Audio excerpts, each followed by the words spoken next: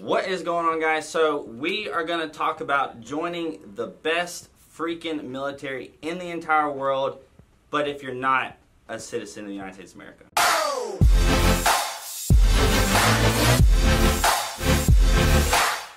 So one of the questions that I get a lot that I haven't really known the answer to that well was, you know, joining the military if you're not a citizen, if you weren't a citizen prior to now, and that whole enlistment process, what is that like? I really haven't known much about this at all because I'm not, I was born here, I was raised here, I didn't have to go through all the additional background checks and stuff. So uh, whether you are not a citizen currently, whether you uh, recently became a citizen, you have a green card, visa, or whatever, we're going to talk about whether or not you are actually eligible or not. So obviously for citizens, you're good to go. Whether you were born here, born abroad, or naturalized citizen, you fall into the same category. You're a U.S. citizen, you can process. If you're born abroad, we just need the FS-240 born abroad birth certificate. If you're a naturalized citizen, we need your naturalization certificate. And that includes if you have a derived naturalization from your parents because they were naturalized when you were under the age of 18. If you're not a citizen and you have a legal permanent resident status, you have an I-551 green card, you can still process. The difference to your enlistment process is, is that when you join, you join with a space holder MOS. You're not going to join with a guaranteed job in your contract.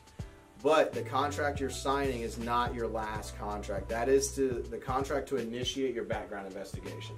So when you sign up at MEPS, you're going to sign with a space holder MOS and a a made up ship date of one year from the day you sign. What that is, is it gives the Army time to investigate your background because they do a more in depth investigation for non citizens.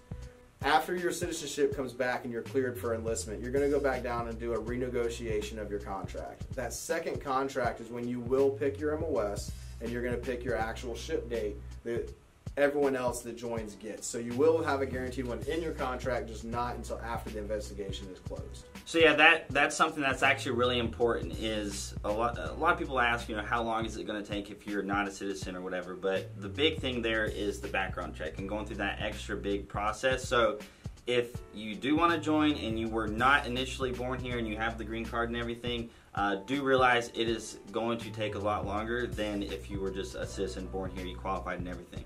All right, so if you're not a citizen and you don't have a legal permanent resident status, at this time, you can't join. Not saying you won't ever be able to. In the past, we get calls all the time about the MAVNI program.